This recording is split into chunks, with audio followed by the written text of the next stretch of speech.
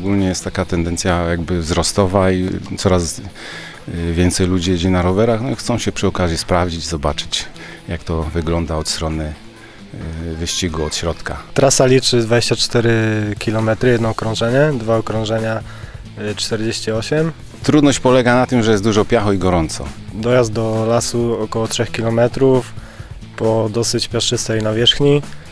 W lesie z kilometr y, po szutrach. Pierwszy zakręt w prawo dosyć ostry i pierwsza górka około 500 metrów. Tam już mogą pojawić się pierwsze problemy dla początkujących. Ze względu na warunki pogodowe. Sucho jest i no, ciężko się jedzie, piasek. Kolejnym takim dosyć y, groźnym elementem jest zjazd y, z nasypu.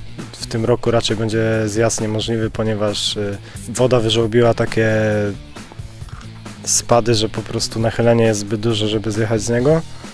No i po, po zjeździe z nasypu, raczej po sprowadzaniu roweru z nasypu pojawiają się single. Single będą się ciągnęły około 6 km. Bardzo, bardzo wymagająca trasa. Myślę, że pierwsza trzydziestka wyścigu będzie mogła przejechać.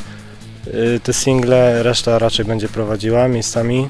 Pozostała część trasy to już jest raczej sama przyjemność. y, Bardzo dużo piachu przez tą pogodę słoneczną. Taki przeciętny rower waży około 17 kg, nasze około 10.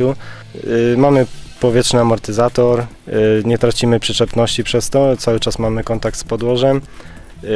Mamy więcej przełożeń, tu akurat jest y, 3 tryby z przodu i 10 z tyłu, czyli 30. Hamulce przede wszystkim też, koła, opony, kask można kupić od 150 do, do 1500 zł. Także reszta osprzętu tak samo. No, jeżeli mamy zasobny portfel, to możemy wydawać do woli.